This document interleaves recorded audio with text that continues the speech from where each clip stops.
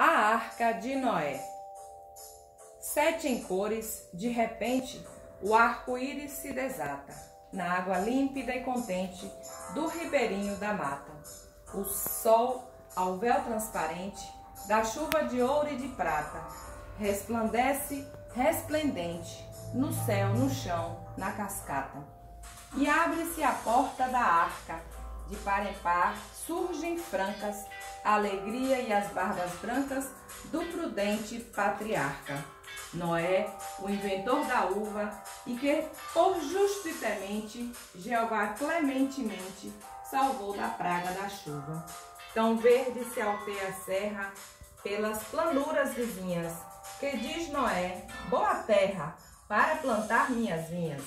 E sai, levando a família, a ver, enquanto em bonança, colorida maravilha, brilha o arco da aliança.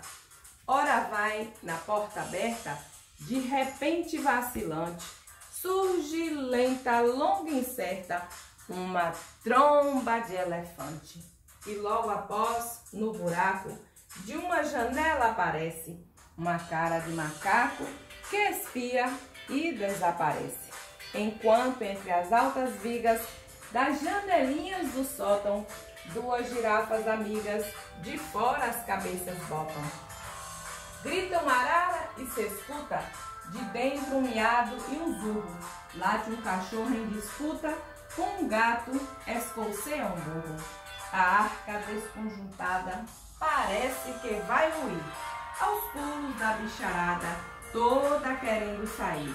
Vai não vai? Quem vai primeiro?